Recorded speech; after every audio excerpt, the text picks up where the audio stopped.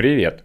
С вами Сойер и сегодня интересная тема. Поговорим, как слинковать ассемблерные программы с C, что такое объектные файлы, что такое ELF формат, как писать на ассемблере, немножко поговорим про оптимизацию на ассемблере, ну и, конечно же, решим всем полюбившуюся задачку FizzBuzz, которая у нас уже на протяжении нескольких видео в разных вариациях решается. Я надеюсь, вам будет интересно, поэтому устраивайтесь поудобнее, мы начинаем. Ну что, давайте начнем с программы на языке C, с той части, которая будет реализована на языке C, тем более, что а, всем уже известен алгоритм решения FizzBuzz, но на всякий случай а, напомню условия. Нужно вывести на экран числа от а, единицы до 100, и если число делится на 3, выводить слово fizz, если делится на 5, выводить слово buzz, а если и на 3, и на 5, то выводить слово fizzbuzz противном случае просто выводить само число. И здесь мы начинаем программу с, со стандартных э, заголовочных файлов. Это Stadio и InTypes, которые э, содержат определения из стандартной библиотеки C. И далее мы дополняем еще двумя своими определениями нашу программу, которые идут без реализации. Все дело в том, что fizz и buzz будут реализованы на языке ассемблера и далее скомпилированы в объектный файл, который будет а, подключаться к нашей программе точно так же, как стандартная библиотека C.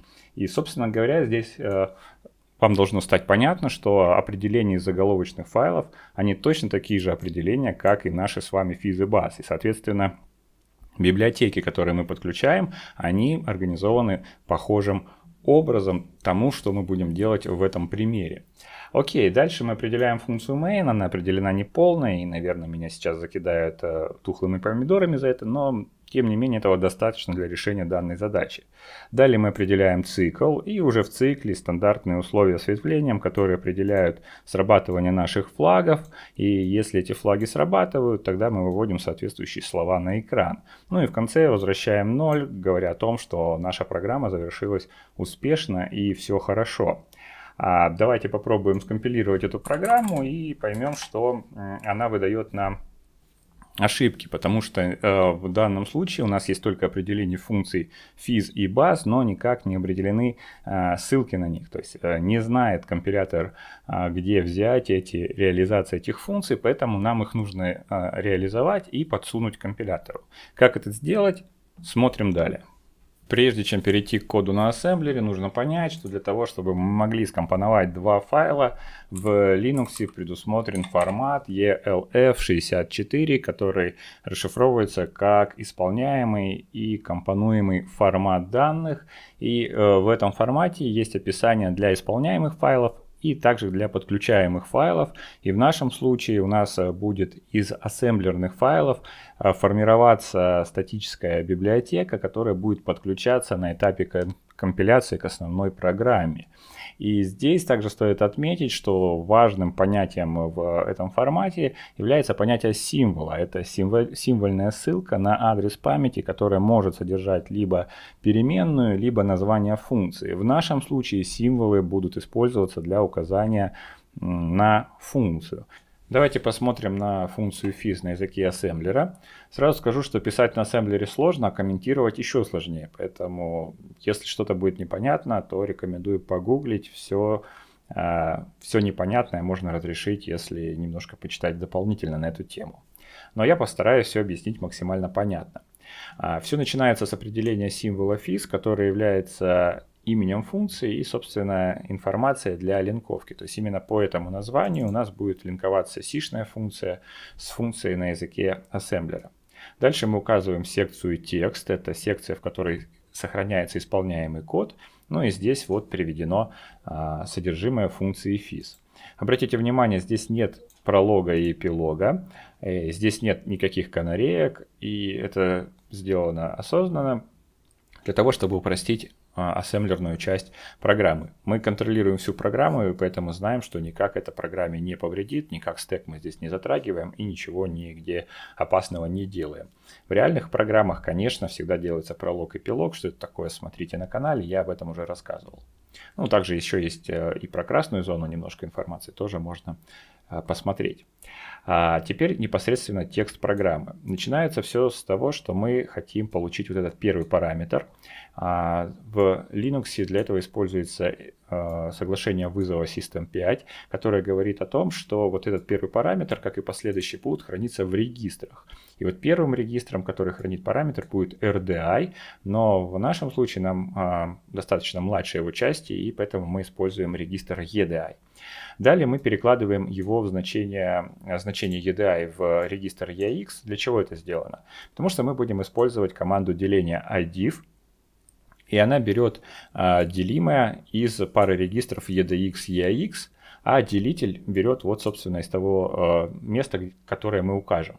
А мы будем использовать регистр EBX, туда мы положим э, значение 3, и, собственно, вот эта команда э, выполнит вот такое действие. Но так как у нас EAX 32-битный регистр, то нам его нужно расширить, то есть расширить до 64 бит, которые хранятся в EDX и EAX, и для этого мы используем команду CDQ. В общем, э, это все для того, чтобы подготовить нашу функцию к делению.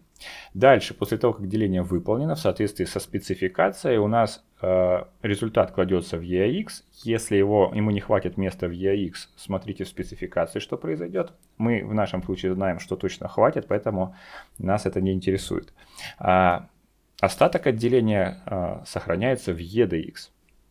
И, соответственно, для того, чтобы нам выполнить нашу проверку, а проверку мы хотим сделать, напоминаю, вот такую, то есть n делится на 3 без остатка. То есть мы хотим разделить, а потом сравнить с нулем.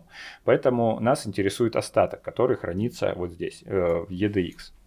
Окей. А дальше мы перекладываем его в EAX и делаем вот такую хитрую команду тест, которая делает логическую операцию и, и получается EAX делаем саму на себя. Это стандартная проверка на то, что в EAX хранится 0. Потому что кроме того, что делается логическая операция и, а, флаг ZF взводится в единицу, если результат равен нулю. Так как а, такое возможно только в случае, если у нас EAX равен нулю, во всех остальных случаях у нас значение никак не изменяется, когда мы делаем логическую операцию и саму на себя, поэтому ZF взведется в единицу только в том случае, если EAX был нулем. Далее мы используем еще одну хитрую операцию setE, которая взводит AL в единицу, если на предыдущем шаге ZF был взведен в единицу. То есть если EAX был нулем, тогда в AL запишется 0,1H, а в противном случае запишется 0,0H. Ну и дальше мы выполняем команду movzx, которая а, пишет перекладывает AL в EAX. Но для чего это сделано? AL у нас это младшая часть EAX, и если EAX 32 бита, то AL 16 бит. Так вот, в старшей части у нас может быть мусор, хотя мы точно знаем, что его там быть не должно, но тем не менее мы на всякий случай берем и э, делаем копирование э, содержимого регистра AL в EAX с расширением до 32 бит. И таким образом, если у нас а, в EAX был 0, то у нас в AL запишется единичка, и здесь мы, соответственно, в EAX эта единичка сохранится. И опять же, по соглашению о вызове мы знаем, что вот этот результат, он берется из регистра а, EAX. Поэтому мы делаем return и знаем, что вот здесь наша сишная программа получит либо единицу, если у нас был 0, либо 0, если здесь было 1 а, или 2. Напомню, что остаток отделения на 3 может быть либо 0, либо 1, либо 2. Окей, и на этом все заканчивается. Вот так сделана эта операция. И далее мы рассмотрим операцию с оптимизацией вот этой части. У меня есть хороший товарищ Валерий Лис, он классно разбирается в ассемблере, в процессорах. У него в свое время был офигенный канал на ютубе. Жалко, что он ушел с ютуба. Если вернется, это будет большое-большое приобретение. Но вот он сделал классную оптимизацию, которую я хотел бы рассмотреть а, на примере функции bus. Давайте посмотрим. Давайте посмотрим на функцию bus. Она выглядит иначе, но в пересечение значительное с первым вариантом. И сейчас сравним, в чем разница. А, как вы видите, символ изменен. Здесь используется символ для, для линковки bus. Дальше идет секция текст. А, часть с делением одинаковая, за исключением того, что используется значение 5. А вот проверка на деление э, с остатком равным нулю немножко другая. Она сложнее, сложнее для понимания, но на одну команду короче. И это прелесть ассемблера, всегда можно сделать э, максимально идеально э, для соответствующей архитектуры процессора, использовать какие-то определенные дополнительные команды, либо еще как-то оптимизировать. В общем, в этом и смысл ассемблера, что здесь можно максимально близко к железу писать. А, напомню, что проверка выполняется вот такая. А, что здесь происходит? Ну, смотрите, а, разделили, в EDX у нас сохранился остаток. Остаток здесь может быть либо 0,1, 2, 3, 4. Да? То есть вот только 4, 5 вариантов остатка может быть в EDX. Дальше мы делаем вычитание EDX минус 1. И это э, бессмысленно для вот этих вариантов, потому что здесь мы получим 0, здесь 1, здесь 2, здесь 3. То есть э, единственное, для чего нам это надо, вот для этого варианта, когда мы из нуля вычтем единицу, мы взведем флаг CF – и вот этот флаг нас интересует. Вот в этих случаях он будет равен нулю, вот в этом случае он будет равен единице. А дальше мы используем вот эту команду SBB, которая выполняется с регистром EAX, и она на самом деле выполняет следующее. Она выполняет вычитание EAX из самого себя. Да, вот, то есть мы указали опять же EAX э, самого на себя. Это, кстати, часто, когда регистр указывается сам на себя для того, чтобы взвести или использовать какие-то флаги. Вот здесь как раз эта задумка использовать флаг. Получается, вот эта часть всегда равна нулю, вот эта часть равна нулю вот в этих четырех случаях и равна э, единице вот в этом случае. Соответственно, когда у нас э, был, был результат деления равен нуля, у нас будет э, возвращено значение минус 1, она будет выглядеть следующим образом. А если у нас результат был положительным числом больше нуля, тогда будет возвращен результат 0.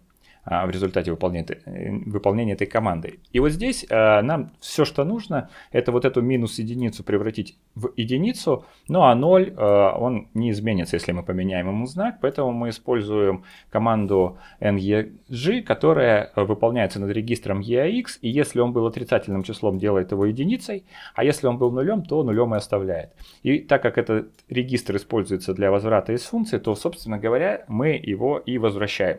То есть мы просто просто взяли и э, на том факте, что у нас меняется э, флаг при вычитании, построили нашу проверку на э, то, что деление произошло с остатком или без. И оно делает ровно то же самое, что мы сделали вот здесь в четырех командах. Это вот получается такая э, оптимизация.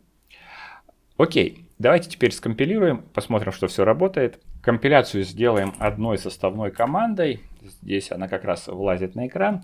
В общем, что здесь происходит? Во-первых, я FizzBuzz два ассемблерных файла слил в один. И дальше с помощью ассемблера и с указанием формата ELF64 ассемблирую в объектный файл а, который мы будем статически линковать с а, нашей программой на языке C.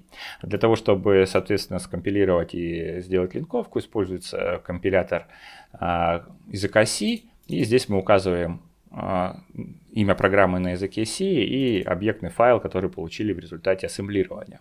Ну а дальше, здесь я не указал, куда вы вводите результат, поэтому используется в Linux стандартное создание файла a.out, который является исполняемым, и его мы, собственно говоря, выполняем. А это сделано как раз для сокращения места, чтобы все влезло на экран, поэтому можно было бы указать а, вывод в какой-то другой файл, но это уже не важно.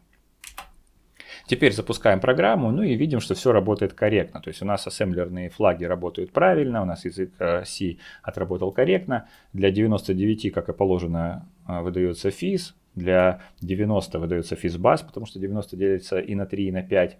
Э, для чисел, которые не делятся на 3 и на 5, выдается, соответственно, само число. Все в столбик, все здорово, все работает. Ну, вот так э, можно было бы решить эту программу с ассемблером и языком C. Конечно, это чисто учебный пример, и в реальной жизни так никто не делает, но тем не менее, надеюсь, вам было интересно посмотреть, как линкуются ассемблерные файлы с помощью статических объектных файлов к языку C, и вы узнали что-то новое. Ну а с вами был Сойер, спасибо, что слушали. До свидания.